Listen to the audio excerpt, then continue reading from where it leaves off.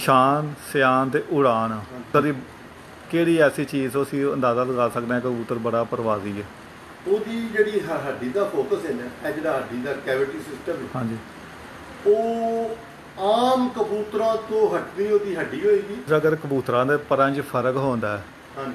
ਦੇਖੋ ਨਾ ਕਬੂਤਰ ਨਰਮ ਆਦਿ ਦੋਨੋਂ ਹੋਣੇ ਚਾਹੀਦੇ ਨੇ ਅੱਛੇ ਪਰਾਂ ਦੇ ਕਿ ਆਇਆ ਕਿ ਤੁਸੀਂ ਦੋਨੋਂ ਇੱਕ ਜੈਸੇ ਪਾਰਦੇ ਲਗਾਣੇ ਮਾਦੀ ਔਰ ਨਰ ਨੂੰ ਕਾਮਨ ਪਾਰਦੇ ਲਾਣੇ ਠੀਕ। ਤੁਸੀਂ ਮਸੇਲ ਔਰ ਪ੍ਰੇਲ ਦਾ ਜੋੜਾ ਲਗਾਉਣਾ ਹੈ। ਫਿਰ ਜਿਸ ਤਰੀਕੇ ਤੁਸੀਂ ਕੁੰਦਾ ਚਾਹੁੰਦੇ ਹੋ ਨਾ ਉਸ ਤਰੀਕੇ ਦਾ ਕੁੰਦਾ ਜਾਣ ਕੇ ਪਾਤੇ ਅਸੀਂ ਉਸਤਾਦ ਜੀ ਤੁਹਾਨੂੰ ਲੱਗਿਆ ਸੀ ਕਿ ਜਿਹੜਾ ਜੋੜਾ ਲਗਾਉਣ ਦੇ ਜਿੰਨਾ ਥੋੜੀ ਦੇਰ ਵੱਧ ਹੋਣਾ ਜੋੜਾ ਲਾਉਣ ਦੇ ਮੁਤਲਕ ਕਿਉਂਕਿ ਕਾਲ ਕਾਫੀ ਲੰਬੀ ਹੋ ਜਾਂਦੀ ਹੈ। ਅਸੀਂ ਅੱਛੇ ਕਬੂਤਰ ਦੇ ਲਿਆ ਪਹਿਲਾਂ ਆਪਣਾ ਸੈਗਮੈਂਟ ਇਹ ਰੱਖਣੇ ਆ ਜੋੜਾ ਲਾਉਣ ਤੇ ਕਿਉਂਕਿ ਉਹ ਸਾਡਾ ਮਿਕਸਚਰ ਹੋ ਜਾਏਗਾ।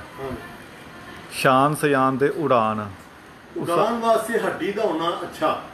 ਹਾਂਜੀ ਸਿਰਫ ਹੱਡੀ ਬੈਲੈਂਸ ਜਦੋਂ ਤੁਸੀਂ ਕਬੂਤਰ ਨੂੰ ਫੜਨਾ ਨਾ ਜੀ। ਉਹਦੀ ਹੱਡੀ ਤੇ ਤੁਹਾਡਾ ਇਹ ਤੁਹਾਡਾ ਅੱਗੇ ਹੱਡੀ ਉਹਦੀ ਇੱਥੇ ਆਣੀ ਨਾ ਉਹਦਾ ਸਾਰਾ weight ਤੁਹਾਡੀ ਤਲੀ ਦੇ ਇੱਥੇ ਜਾਨੀ ਹੋਣਾ ਚਾਹੀਦਾ। ਠੀਕ। ਸਮਝ ਉਹਦੇ ਪਰ ਦਾ ਉਹਦੇ ਜਿਸਮ ਦਾ ਸਾਰਾ weight ਤੁਹਾਡਾ।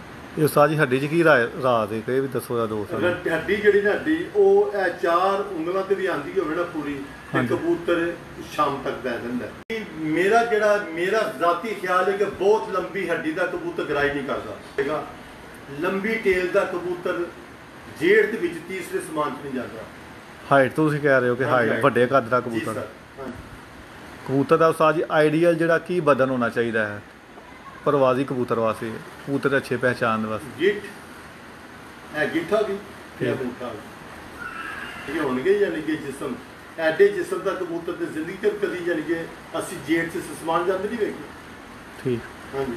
ਇਹ ਉਸਤਾਦ ਤੁਹਾਡਾ ਅਸਲ ਮਕਸਦ ਇਹ ਹੈ ਕਿ ਕਬੂਤਰ ਜਿਹੜਾ ਨਾ ਬੈਲੈਂਸ ਹੋਣਾ ਚਾਹੀਦਾ। ਅਸੀਂ ਇਸ ਚੀਜ਼ ਨੂੰ ਅਸੀਂ ਬੈਲੈਂਸ ਹੋਣਾ ਚਾਹੀਦਾ ਜਹਾਜ਼ ਦੇ ਸ਼ਿਪ ਹੈ ਗਾੜੀ ਇਹ ਬੈਲੈਂਸ ਚ ਆ ਰਹੀ ਹੈ। ਅਗਰ ਤੁਹਾਡੀ ਗੱਡੀ ਦਾ ਯਾਨੀ ਕਿ ਬੈਲੈਂਸ ਖਰਾਬ ਹੈ ਤੁਹਾਡਾ ਜਿਹੜੀ ਸਟੀਅਰਿੰਗ ਇੰਜਨ ਕਰ ਰਿਹਾ। ਤੁਸੀਂ ਕਹਿ ਰਹੇ ਯਾਰ ਕਿ ਮੇਰੀ ਗੱਡੀ। ਦਾ ਬੈਲੈਂਸ ਨਹੀਂ ਠੀਕ ਠੀਕ ਤੇ ਬੈਲੈਂਸ ਵਿੱਚ ਹੀ ਹ- ਹੱਡੀ ਪਰ ਜੋੜ ਸਾਰਾ ਕੁਝ ਆ ਜਾਂਦਾ ਹਰ ਹੈ। ਚੀਜ਼ ਦਾ ਜਿਹੜਾ ਨਾ ਮੈਂ ਫਿਰ ਉਹਦਾ ਕੈਵਿਟੀ ਜਿਹੜਾ ਸਿਸਟਮ ਹੈ ਨਾ ਹੱਡੀ ਦਾ ਉਹ ਸੈਂਟਰ ਹੈ ਔਰ ਸੈਂਟਰ ਨੂੰ ਮਜ਼ਬੂਤ ਹੋਣਾ ਔਰ ਉਹਦਾ ਨੋਕਦਾਰ ਔਰ ਜੋੜ ਦੇ ਵਿੱਚ ਜਾ ਕੇ ਬੰਦ ਹੋਣਾ ਉਹ ਜਿੰਨਾ ਗੁਲਾਈਸ ਹੋਏਗਾ ਜਿੰਨਾ ਛੋਟਾ ਹੋਏਗਾ ਉਨੇ ਕਬੂਤਰ ਅੱਛੀ ਜਾਨੀ ਕਿ ਪਲੋਸ ਕਰੇ ਖਿਆਲ ਨਾਲ ਤੁਸੀਂ ਪਰੇਲ ਮਸੇਲ ਚਰਗ ਪਰ ਬੈਰੀ ਪਰ ਹਾਂਜੀ। ਕਿਉਂਕਿ ਮੈਨੂੰ ਪਤਾ ਅੱਜ ਤੋਂ 13 ਸਾਲ ਪਹਿਲਾਂ ਤੁਸੀਂ ਮੈਨੂੰ ਦੱਸੇ ਸਨ ਹਾਂਜੀ ਇਹ ਬਰਾਦਰ ਆਂਦਾ ਉਹਨਾਂ ਕਿਹਾ ਸੀ ਕਿ ਆ ਤੂੰ ਏਡੀ ਦੂਰੋਂ ਆਇਆ ਮੈਂ ਗੁਜਰਾਂ ਤੋਂ ਸਫ਼ਰ ਕਰਕੇ ਜਦੋਂ ਮੈਂ ਤੁਹਾਨੂੰ ਦੱਸਾਂ ਕੀ ਫਾਇਦਾ।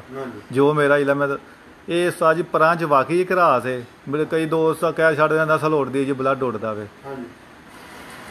ਇਹ ਤੁਸੀਂ ਤੁਹਾਡੀ ਕੀ ਰਾਏ ਵੇ? ਦੇਖੋ ਜੀ ਪਰਦਾ ਨਾਲ ਜਿਸਮ ਦੇ ਨਾਲ ਪਰਦਾ ਵੀ ਅੱਛਾ ਹੋਣਾ ਹੋਣਾ ਬਹੁਤ ਜਾਨੀ ਕਿ ਜ਼ਰੂਰੀ ਹੈ।